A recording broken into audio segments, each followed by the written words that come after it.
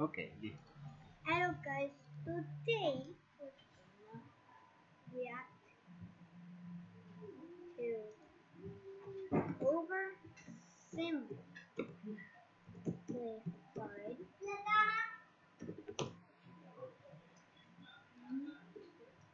This video was I know everybody watches these videos, but I want to react to it again. Cause why not? I, recently made the mistake of playing League of Legends at 4 am. You see I couldn't sleep likely due to being overstimulated from the 12 straight hours of playing this piss pit of a game. through it.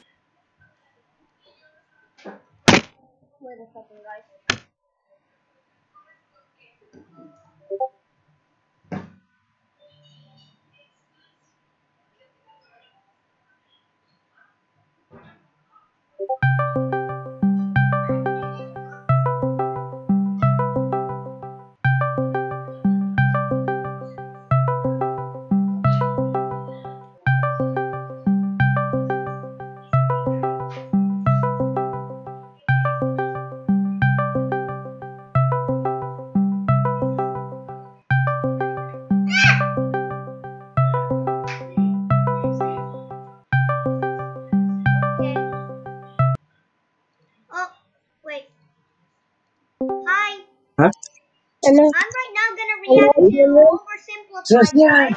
What? What's that? of 1942, at time of modern What? technology, culture, oh, and Oh, fashion, These are all height of yours. civilization. Let's have a war. Everyone Yeah, knew a big a war war. was coming. France wanted some stuff back that Germany had taken from it. Germany wanted to take more of everyone's stuff, and they were building a big, sexy navy that was making the Oh my British God. uncomfortable. The These two empires thought they were really cool, but lots of different people who lived there didn't think it was so cool. And some of them had even been declaring independence with help from Russia. Everyone was talking about each other behind each other's Yeah, backs, suck during the fact that military technology had come a long way since the last major war, and suddenly everyone was pretty eager to beat each other up. In this area of Austria-Hungary lived some Serbs and Bosnians who hated living in Austria-Hungary. So the Austro-Hungarian Archduke Franz Ferdinand goes there for a nice drive in an open-top car Oh, with his car's route published in advance. And that went just about as well as you'd expect. I know, right? Some assassins were waiting for him along the way and threw bombs at his car, but they missed and blew up some officers behind him instead. Yeah, they blew up So the the Archduke goes into hiding, right? leaves Sarajevo, and the whole war never happens. Except no, the Archduke no. doesn't leave, but instead goes back out in the open-top car to visit the injured officers in hospital. The driver takes a wrong turn and by sheer coincidence gets stuck beside one of the failed assassins, who shoots him. Oh no. Oh! Austria-Hungary is understandably pissed about all this, and they think the Serbian government had something to do with it, which they might have. So they go to their ally Germany and say, Hey Germany, we're going to declare war on Serbia, and Germany is all for that. So Austria-Hungary send a big list of That's impossible demands to Serbia, started. and when Serbia refuses, they declare Huh? war. Declare war. Austria-Hungary and Germany are friends, and Serbia is protected by Russia, who's friends with France, so they all declare war on each other. Montenegro joins in too. France and Britain also have a kind of alliance. So when France says, "Hey Britain, you got my back," Maybe. And then they decide to stay out of it, which is great for Germany because Germany has a plan. They know that Russia is so big and clumsy that it will take them a while to get ready for war. So with this guy in charge, Germany will send all its troops into France at lightning speed while Russia's getting Oh ready. Defeat France, then move all the troops to Russia and defeat Russia, and then we all speak German and eat Pfefferpotthast every day. Just one problem.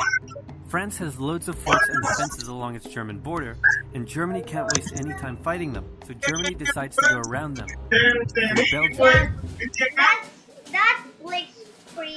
Belgium is neutral, but Germany wants to march 750,000 troops through it to get oh around Oh France's God. defenses. They're hoping Belgium will just kind of sit down and shut up, but they don't. They fight back. And they're pretty good too, so they slow the Germans down. What's worse is that Britain shows up, and they're pretty pissed that Germany's invading neutral countries. So now Britain declares war on Germany. So Germany push on through Belgium and commit some atrocities along the way. They also wear spikes and sometimes skulls on their uniform. So if you're trying to not look like the bad guys, good job. The Allies have a propaganda extravaganza, and this starts having an influence around the world, notably in America. The US President Woodrow Wilson sees himself as a bit of a Jesus figure, and spends most of the war trying to get everyone to just hug it out. But there's also a large population of ethnic Germans living in the United States, and when the war first broke out, they were like, yay, Germany! But now that they're committing atrocities in Belgium, they're less enthusiastic. Let's play Spot the French Soldier. There we go. There he is. Did you see him? Easy, right? He's wearing a bright blue uniform with red trousers. Sí, And you know who else spotted him dije easily too? The Germans. So when the French were slowly marching in columns through the countryside, the Germans easily put them to shreds with their giant guns. All the Ya nations involved in this war went in with an old school war mentality. Oh, si te voy a llevar las cosas que también las... Everyone had to update their uniforms and No sé cómo se during dice. the Because this war was going to be El like panadero. anyone had ever seen before. helmet, no boots. Russia's ready for war, and way earlier than expected. Hey, Austria-Hungary, can you get on top of that? Oh yeah, sure, we've got this. Nope. So Germany has to send some troops back to the east to defend against the Russians. The chief of staff of the Austro-Hungarian army is this guy, and although he is handsome, he turns out not to be the best military strategist. Austria-Hungary I know, right? constantly ignores Germany's advice and then comes running back to Germany whenever they get in trouble. Austria-Hungary even gets its ass kicked by tiny Serbia, who repels all their invasion attempts at the start of the war. It's better news for Germany in the north, though, where they almost completely wipe out the Russian Second Army. Back on the western front, the Germans continue advancing and are in of Paris. At this point, anyone would be forgiven for thinking the Germans were going so to get that quick victory after all. But then things start to go wrong. The French commander-in-chief knew something had to be done, and he ordered his armies to stop retreating. In the resulting battle, a gap opened up in the German lines. If a gap opens up, the enemy can use it to flank you from the side and behind. So the German armies have to retreat. The Allies launch a counterattack, so the Germans get into defensive uh, positions. The Allies do the same. Then both sides move north, trying to outflank each other along the way. When they reach the sea, they're in a stalemate with trench systems running the whole way from the coast to Switzerland, the beginning of trench warfare on the western front. Here's how. Two opposing lines of trenches with no man's land in between. One side would pummel the other with hundreds of thousands of artillery shells, sometimes for days at a time. This had a huge psychological effect on the soldiers, leaving many shell shocked. Then, the attacking troops would leave their trenches and rush across no man's land, a muddy wet mass of shell craters and barbed wire. The defending trench would unleash machine gun fire on the attackers, inflicting thousands of casualties. The attackers would send wave after wave until either they gave up or the opposing trench was finally overrun. There would be months of fighting and the deaths of thousands in order to gain a few meters or kilometers of land. Living in the trenches was hard work too. Corpses, mud that could swallow you whole, pools of poisonous water, rats, disease, the smell. It's insane that millions of soldiers put up with these conditions and commanders ordered them to do so for years. I know, right? Click here. Okay, whatever.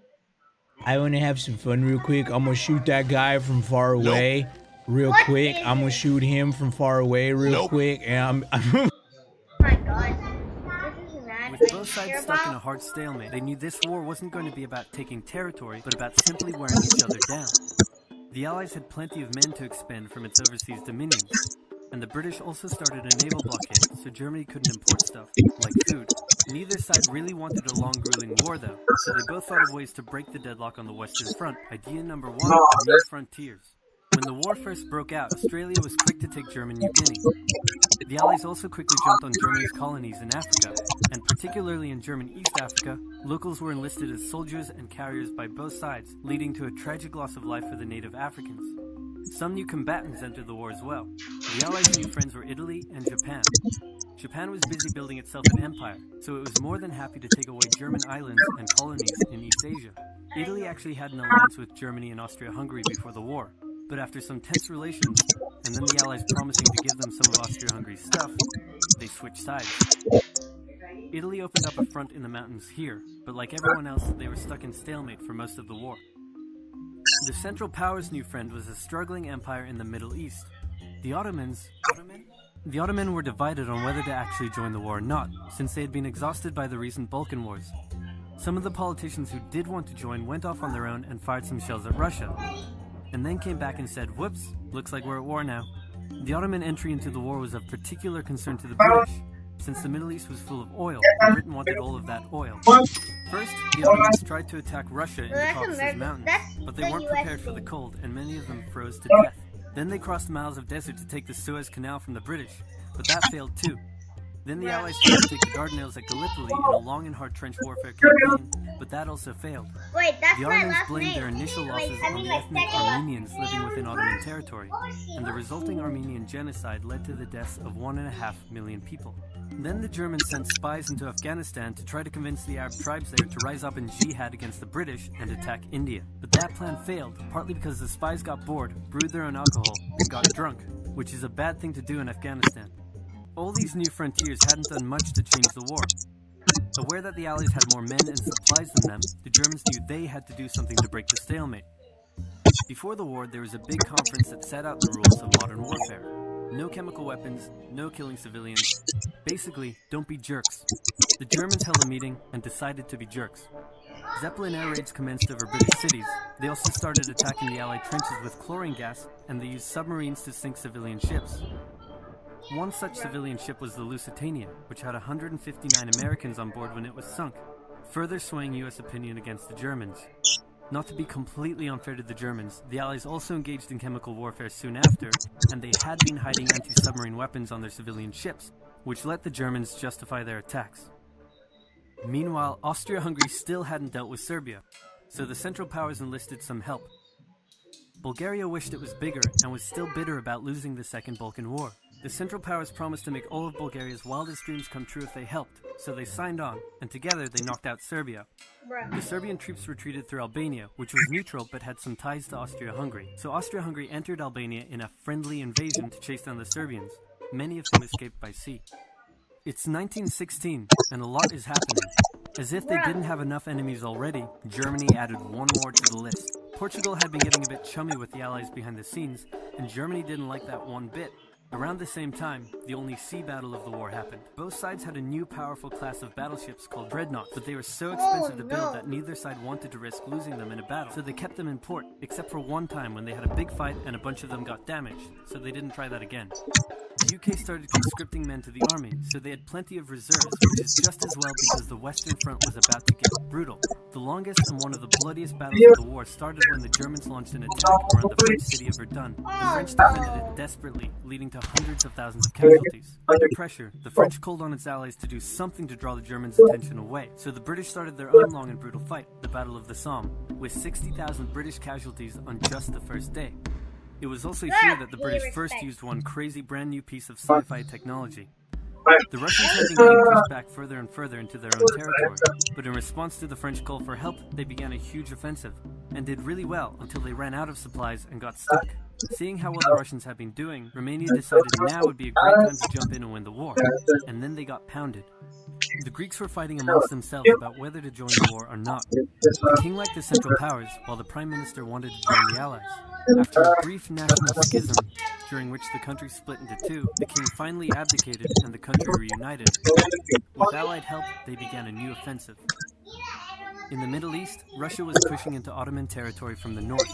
The British had also made a landing in Mesopotamia to protect Persia's oil fields, and they had also sent a small army up the Tigris River to try to take Baghdad. But the army got sieged in the town of Kut along the way, and eventually surrendered. A new offensive was launched from the south with all-out desert warfare. The offensive was aided by one famous British officer, better known as Lawrence of Arabia, who helped lead the Arab tribes in a revolt that wreaked havoc on the Ottoman supply line. By the time 1917 rolled around, everyone was exhausted. There were mutinies in the French army, the German populace was starving, and the war had drained all of Russia's supplies. There was no clear winner, and it was still anyone's war. The only question now was, who was going to break first? And the answer was Russia. Tired of not eating and mad that a crazy magic homeless guy was calling some of the shots, there was an uprising in Petrograd complete with riots and strikes. The riots turned into a full-scale revolution and a new government overthrew the Tsar. And a few months later, the Bolsheviks overthrew the new government. And they pulled Russia out of the war. This was great news for Germany, who now only had to focus on the Western Front. But there was still one problem. The pesky United States of America was looking increasingly like it was going to join the war. America had been selling supplies to the Allies throughout the war and was getting super rich off the back of it, meaning it was in fantastic shape oh and was dangerous to the Germans. So Germany sent a telegram to Mexico saying, Wouldn't it be crazy cool if you guys attacked America? But the British intercepted the message, showed it to the Americans, and that was the final straw. American troops began shipping out to Europe. This was terrible news for Germany. They knew their only hope now was to force France and the UK to surrender before the fresh American troops arrived. It was now or never, so they started one final attack. They converged their troops and hit hard at the Somme and pushed the Allies back. They hit a second time further north, then again and again. With each Oh hit, the Germans were spending more and more resources, while the Allies were getting better and better at repelling their attacks. By the fifth punch, the Allies held the line and even pushed back. With American troops now arriving in larger numbers, the Allies launched a counterattack, and that was it. The Central Powers were being pushed back on all fronts. Bulgaria collapsed first, followed by the Ottoman Empire, then Austria-Hungary, and finally on November 11, 1918, at 11 o'clock, Germany surrendered. At the peace treaty, Germany was forced to reduce its military, accept war guilt, and pay the bill for the war. After indescribable suffering and millions dead, the world learnt its lesson and never had such an awful war again. For about 20 years. Oh my god. In 1936, a brilliant Polish doctor discovered what she believed to be the biggest biblical breakthrough of the last 2,000 years. A secret that, if rumors were true, could heal soldiers from serious wounds, make them think faster, fight off disease, and stay healthy under stressful circumstances, and by removing pain and discomfort, make them virtually invincible in battle. It's no wonder that Dr. Bennett's apparent biblical discovery caught the eye of a very evil man. You see, Adolf Hitler knew war was coming, and he was hungry for any advantage that he could get his hands on, which, by the way, is the real reason Hitler spent years searching for lost relics, including the Holy Grail, the Ark of the Covenant, and recently declassified reports reveal that in 1939, through his vast spy network, Hitler became aware of Dr. Bennett's discovery. Within a few months of hearing about her research, he had invaded Poland and World War II had begun. Click the button you see now to discover the secret that Hitler so desperately tried to get his hands on. Now, after the outbreak of World War II, the Gestapo frantically searched for the young doctor, believing she possessed knowledge that could help Hitler win the war. But critics in Hitler's inner circle believed he had a more personal reason for going after Bennett, because they were privy to his most closely guarded secret. Hitler had a debilitating autoimmune disease, and he must have wondered if the doctor's biblical discovery truly could have the power to eliminate pain, to heal and even slow the natural aging process. This video was made possible by Skillshare. Churchill was a man with many talents. He was an artist, a butterfly enthusiast, and he had an unpublished manuscript about aliens. Clearly, he was a man with an insatiable thirst for knowledge. Maybe he could have loaded up his computer and logged onto Skillshare, an online learning community with more than 19,000 classes in design, business, technology, and more. Perhaps he was considering a side career in fashion, but didn't know where to start. On Skillshare, he would find courses in fashion design and garment construction. Or if he wanted to learn app design, improve his photography, or just how to make a really good quesadilla, he would have found courses for all of these and more on Skillshare. Skillshare gives you access to high quality classes taught by genuine experts working in their field. I work heavily with animation, and I was genuinely blown away by the number of really useful courses available to me. Like this class full of tips and tricks for creating vector art, or this one for creating character walk cycles. For an annual subscription, Skillshare is under $10 a month. And if you'd like to try it out first, then I've got a deal just for oversimplified viewers. The first 1,000 people to use this link, which can be found in the description, will get their first two months of Skillshare for just 99 cents. Be sure to try it out using the link in the description and learn something new today. Now, without further When do ado, you want to collab? It's 1902. A young man by the name of Benito Mussolini moves from Italy to Switzerland to avoid military service. He gets big into socialism, working for trade unions, writing for socialist newspapers, advocating a violent overthrow of European monarchies, the whole I am try- I'm watching oversimplified. I'm I'm watching reaction.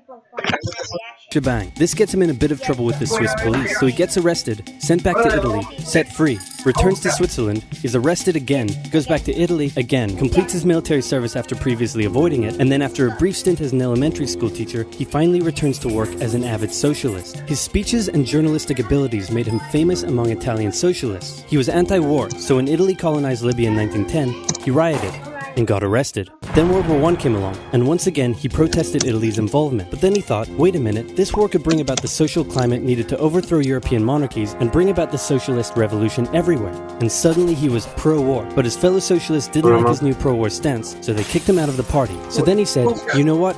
I'm done with socialism. We need something new, not based on class divisions tearing us apart, but based on unity through nationality. We'll conquer the Mediterranean and reunite all Italian people just like the days of the Roman No. Empire. I'll call it fascismo, and it will guide the Italian nation to greatness.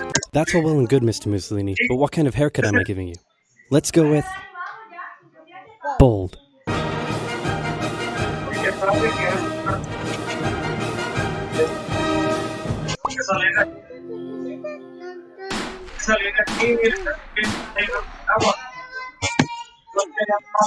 Italy had been on the winner's side in World War I, and they hoped they were going to get a lot out of it, but in the end, they only got a little, and they felt cheated. On top of that, a bad economy and weak governments meant that the Italian people were a little unhappy. So when Mussolini came along and said that he could fix everything, his fascist movement gained a lot of support. In 1922, he went to the king and said, Make me prime minister, or I'll make me prime minister. And the king said, You and what army? This army. Fair enough. Then he went about establishing a dictatorship with himself at its center. Europe had its first fascist dictator. Next up, Germany. Germany had been on the loser's side, and they got absolutely wrecked by the Treaty of Versailles. They lost territory, had to demilitarize the Rhineland, had to reduce their army to just 100,000 men, couldn't have an air force, had to pay the Allies a huge amount of money that it didn't have, and a new rule was established that every Englishman withheld the right to walk into the center of Berlin, pick out any German they wanted, and spank the hell out of them. I made that last one up, but it helps you understand how all of this felt to Germans. On top of that, a bad economy and weak governments meant that when a small angry man with a silly mustache came along and said that he could fix everything, the German people loved it. Hitler had been a soldier during World War I, and he was crazy patriotic, and nobody was madder than him about Germany's humiliation. He helped start a new political party, and in 1923 attended a march on Munich with his boys and then he got arrested. But his popularity grew and grew, and in 1933, the president made him chancellor. He believed he was Germany's great destined savior, and he went full megalomaniac, establishing a dictatorship with himself at its center. Europe had fascist dictator number two. Hitler and Mussolini had a lot of the same ideas, but more importantly, they had the same enemies, and they started to get along. Anyone else want to be friends? Franco? No? You good? I do. Who's that? It's Japan, and they've taken over northern China. Let's rewind a bit. Japan had isolated itself from the rest of the world for over 200 years until the Americans showed up and said, You're going to trade with us and you're going to like it. Then the Western powers imposed a bunch of unequal treaties, meaning Japan's economy was bust. They also had no natural resources, so they decided to go get some. They went to war with China to gain a sphere of influence over Korea, and they took a bunch of China's stuff. But then the West said, Hey, Cut that out. And since Japan couldn't take on the West, they said, okay, I guess we'll just go home. Wait a minute, what are you doing? Taking advantage of a weakened China and setting up spheres of influence. But I was the one who weakened them. We know. And you guys didn't let me have anything. We know. That seems unfair. We don't think so. Okay, see ya. So Japan thought, screw this, and went to war with Russia, and stunned everyone by actually winning. Then they fully annexed Korea, but they didn't stop there. In World War I, they took Germany's colonies and islands in Asia. And then in an incident that was maybe staged by the Japanese army, a bomb blew up a Japanese train in Manchuria, giving them an excuse to launch an invasion and take over. So here's the situation. Nazi Germany, Fascist Italy, and Japan all believe they're racially superior, all feel hostility towards the Allies, and all want to militarize and take over more stuff. And so they did. Let's start with Germany. Hitler hated the Treaty of Versailles, and now he was ready to begin undoing it. In complete violation of the treaty, the first Luftwaffe squadrons were set up, conscription was introduced, and he pimped up his army. The Allies did nothing. Then Hitler sent his army back into the demilitarized Rhineland, giving orders to immediately retreat if the Allies showed up. The Allies did nothing. With his military re-strengthened, he could now move on to step two. He wanted to rapidly increase the Aryan population, and to do so, he needed Lebensraum, or in other words, he would have to take over the world. But for now, a good portion of Europe would do, and he began eyeing up his neighbors. The Allies finally started to get worried, so they implemented a fairly useless diplomatic strategy called appeasement, and it went a little something like this. Hitler would say, I want that thing, and the Allies would say, You can't have that thing. Okay, you can have that thing, but no more. I want that thing.